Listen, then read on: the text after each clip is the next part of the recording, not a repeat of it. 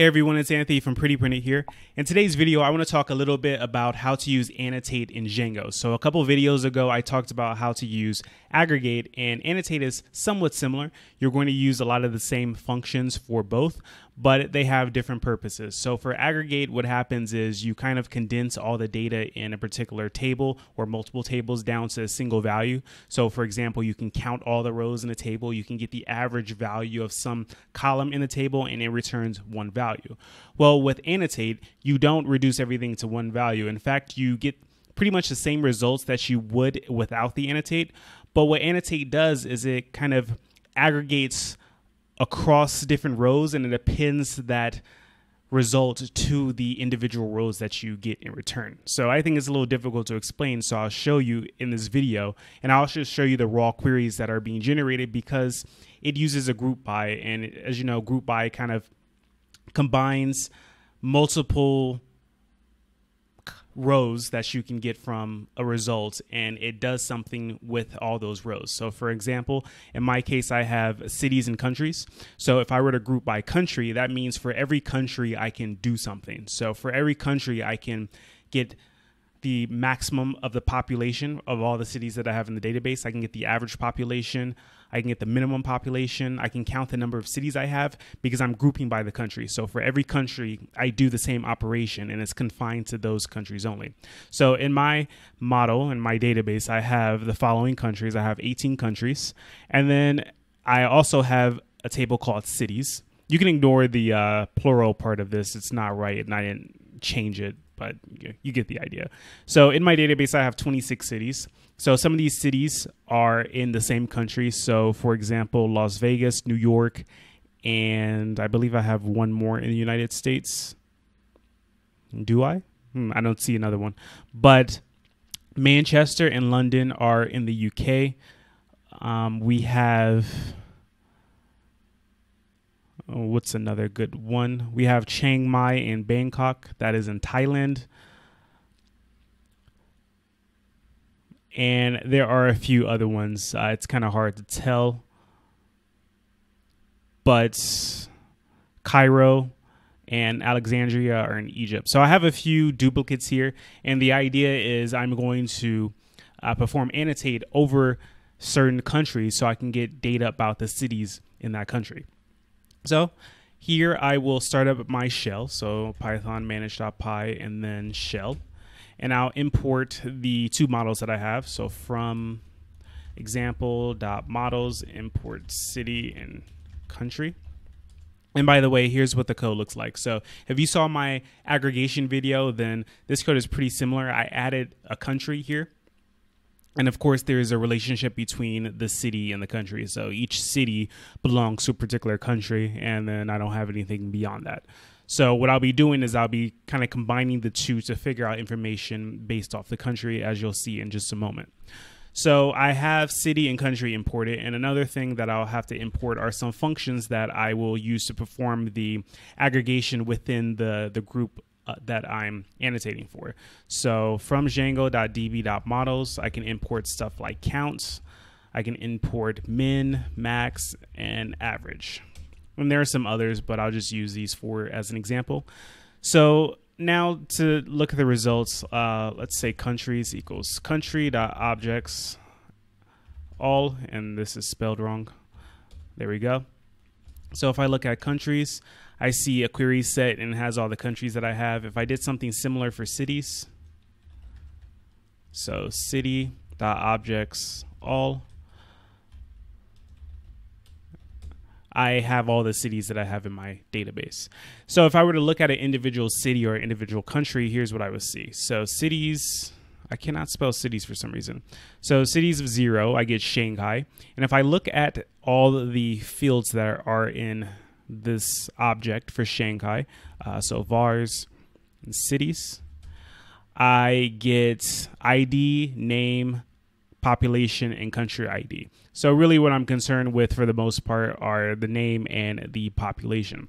So if I do the same thing for countries, so countries of zero, and that gives me the United States. And if I look at the vars here, uh, this is going to have a little less. So uh, it just has a name. because that's how my model is set up. So nothing too interesting about the country. It's just that the country is needed because each city is within a particular country. So now if I wanted to find out some information about those countries through the city model, I can do that using annotate. So if I do something like, um, let's see, min, I'll call this min pop. I'll do city, objects, and then I will do annotate. So this is kind of similar to how I use aggregate. So if I wanted to find the minimum population for all the cities in my database, I would use aggregate and I would have one value returned. But since I'm using annotate, things are going to work a little differently. So I'll use min and then I'll reference the population. So min population and we'll see what happens. So min pop returns all the cities again. And let's see what it looks like for the first one. So Shanghai. I see an ID, a name, a population, a country ID, and I also see a population min. Well, if you notice, the population and the population min are exactly the same. And the reason why is, is because it's trying to group by the city. And when you try to group by the city, in this case with one model, you're just going to get each individual city. So it's like you're performing some kind of aggregation over one row. And that's not very interesting because we already know what the minimum population for Shanghai is. It's equal to the exact population. So, what is more interesting is when we bring two models into the picture. So, instead of using city, I'm going to use country. So, I'll call min pop again. So, min pop country and then objects, annotate, uh, min. And because I don't have a population column in my country model, I have to reference it through that foreign key that I have. So I use the name of the model that the foreign key is on. So in this case, city, it's going to be lowercase. And then dunder, and then you get the actual field name or the column name. So city and then population. And now if I look at MinPop, I see all the countries that I have in the database. And if I look at the results of one of the countries, so MinPop for the United States, so that's going to be the first one here. I see the ID, the name, the city, and now I see population min. And now this value has more significance because instead of looking at one row in the case of the cities, now I'm looking at all the cities that are in the United States. I'm comparing them and I'm figuring out what the minimum population is. And like I said, I believe I only have two cities in the United States in my database. Uh, let's see New York and Las Vegas. So obviously, Las Vegas is a lot smaller than New York. So the population for New York that I have in here is over 8 million and then the population for Las Vegas is 648,000. So obviously 648,000 is a lot smaller than 8 million, so that's why I get this value as the population min. So if I did something similar, but I would say max population, I'll just change this to max, and then I'll change this to max, and then I do the same thing with the first result, and I need to actually use max here, not min. So max, and now we see the population max down here is 8,622,698. And that's because it's now looking at New York because out of all the cities that I have in the United States, in this particular case, only two, I get a max value of 8 million. So let's look at another country and do another thing. So, do I have any countries in here that have three cities? like I had to go through and manually add everything. So I kind of I got bored after adding a few cities. So I want to see if I have any countries with three cities in them. So we have Barcelona. I saw, and then do I have Madrid? I have Madrid, but I don't have any other ones. So Indonesia, Chile let's see, Egypt, Morocco, Spain, Ethiopia, Nigeria, Russia, China. I think I have, let's see, I have Shanghai.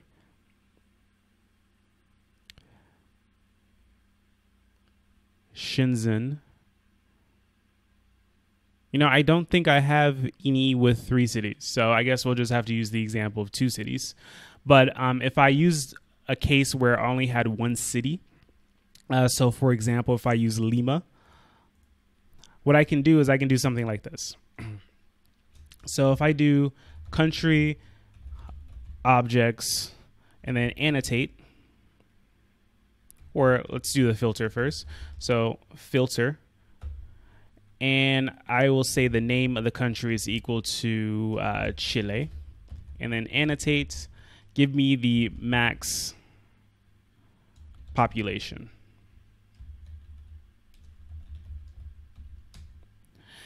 And let's see, Chile isn't a country. Oh, that's because it's Peru, not Chile. My geography is messed up, so I'll use Peru. I should have known that. Okay, so I get the country Peru here. And if I look at the results directly, so I'll just assign this to Peru. And I need to add an equal sign. Vars of Peru. And I need the first results, even though there's one. And I see the population max is over 8 million. And if I do the same thing, but I use min instead of max, we'll see that I get the same exact value because I only have one city for Peru in the database. So if I were to go back to one of the countries that has multiple, uh, I can do something like uh, China. And then instead of min, let's just say counts and I don't need to count the population. So I'll just count the number of cities and I'll assign this to China. And then if I look at the first result, vars of China, I get two. So it's telling me that the number of cities in the database is two. And if I take a look at this raw query, so china.query, and this should be stir. So stir china.query should return the exact query that's being used. So we see that it is selecting from country and it's joining the city table here. And then what it's doing is it's filtering by the name of the country, so China, and then it's grouping by the country. So it's because it's grouping by the country, it's going to take all the cities that have the same country and put them together in a group. And it's going to perform operations on that group. So of course you can expand this to whatever you need to, but the idea is, you know, you're going to have at least two models that are involved and whatever thing that you're aggregating over the group, it gets appended to the results for each object that gets returned. So in this particular case, uh, it gets appended to city underscore count, which is two, but it can also be city population, and Django is going to name that for you. So that's all I wanted to cover with annotation in this video. Um, I know it can be a little bit of a tricky topic, and I'll probably cover it again in the future. But um, if you have any questions about it, you can always ask me, and I'll try to answer it in the comments below. And if you're interested in learning more about Django, I have a few Django courses on my website. So just go to prettyprinted.com. There's going to be a link in the description. I have, I believe, three Django courses. So understanding Django, um, Intro to Django, and Django Database Essentials. So you can check those out uh, after you finish watching this video and see if you enjoy the structure of the videos and you learn a little more than you do from watching a single YouTube video. It's like a bundle of videos instead of a single video. So, like I said, if you have any questions, just leave a comment down below. Uh, if you like this video, please give me a thumbs up. And if you haven't subscribed to my channel already, please subscribe. So thank you for watching, and I will talk to you next time.